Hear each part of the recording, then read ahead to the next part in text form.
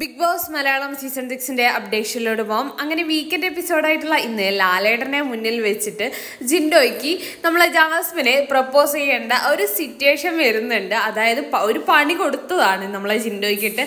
അത് വളരെ ഗംഭീരമായിട്ട് ജിൻഡോ ചെയ്യുന്നുണ്ട്. അവർ തമ്മിൽ ഡാൻസൊക്കെ കളിക്കുന്നുണ്ട്. ഇത് കണ്ടിട്ട് നമ്മളെ ലാലേട്ടൻ നല്ല പൊട്ടിച്ചിരിക്കുന്നുണ്ട്.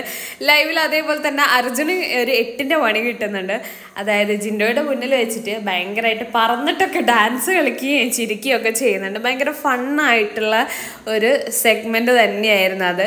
വളരെ അധികം തന്നെ എല്ലാ കണ്ടസ്റ്റൻസും അത് എൻജോയ് ചെയ്തിട്ടുണ്ട് ആ ഒരു ലൈവിൽ ഇന്നെന്തായാലും വളരെ ഫണ്ണായിട്ടുള്ള കുറച്ച് ആക്ടിവിറ്റീസും കാര്യങ്ങളൊക്കെ ലാലേട്ടൻ വന്ന ആ ഒരു സമയത്ത് തന്നെ കണ്ടസ്റ്റൻസിന് കൊടുത്തിരുന്നു. അതെല്ലാവരും തന്നെ വളരെ ഗംഭീരമായിട്ട് അതിഗംഭീരമായിട്ട് തന്നെ ചെയ്തു എന്ന് തന്നെ പറയാം. കാരണം ആ ഒരു ലൈവിൽ ഇന്ന് ഒരുപാട് ചിരിക്കാനായിട്ടുള്ള സംഭവങ്ങൾ ഒരുപാട് നടന്നിരുന്നു എന്നാണ് ആ ഒരു ലൈവ് കണ്ടപ്പോൾ എനിക്ക് മനസ്സിലാക്കാൻ കഴിഞ്ഞത്. എന്തായാലും കിട്ടിയ തക്കത്തിന് നമ്മളെ ജിൻഡോ ജാസ്മിനെ നല്ല രീതിയിൽ തന്നെ പ്രപ്പോസ് ചെയ്യുന്നുണ്ട്. നിന്റെ ഉപ്പാടെ അടുത്ത് സമ്മതമൊക്കെ ഞാൻ ചോദിച്ചോളാം. നീ എന്റെ കൂടെ ഇങ്ങ് പോന്നോളൂ എന്നൊക്കെ പറയുന്നുണ്ട്. ഭയങ്കര ഫണ്ണായിരുന്നു ആ ഒരു കാര്യം എന്തായാലും.